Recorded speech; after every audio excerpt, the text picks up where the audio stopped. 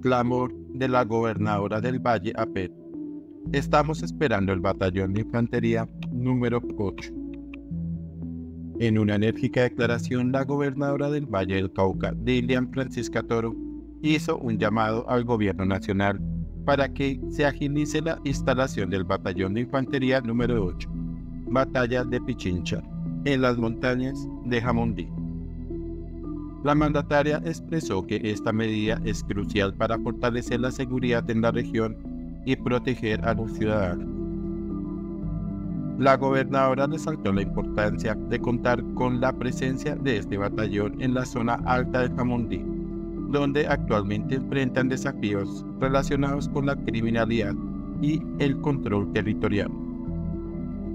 Según Toro, los soldados de este batallón desempeñan un papel fundamental en la lucha contra los criminales y la garantía de la tranquilidad de los jamundeños. Además, la gobernadora informó que ya se han identificado cinco predios actos para albergar al batallón y se están gestionando las negociaciones con los propietarios para determinar cuál de ellos será la ubicación definitiva. La inversión en esta infraestructura militar es esencial para la movilización de tropas y la consolidación de la seguridad en la región. Toro concluyó su comunicado reiterando su compromiso con la seguridad y el bienestar de los habitantes del Valle del Cauca y enfatizó que no descansarán en su lucha frontal contra los criminales.